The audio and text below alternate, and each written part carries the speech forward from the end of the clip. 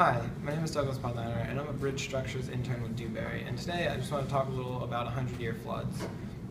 The biggest misconception of the 100-year flood is that it happens once every 100 years, when actually it's a flood that has a 1% chance of occurring every year, and therefore, based on probability, it actually only has a 63% chance of occurring within the 100-year time span. It isn't until you get to 500 years that it's almost guaranteed. And this is very important for engineering because we use it in a lot of different designs. Uh, for instance, with bridges, we use it as the 100-year flood is the flood that your bridge must be able to stand up to.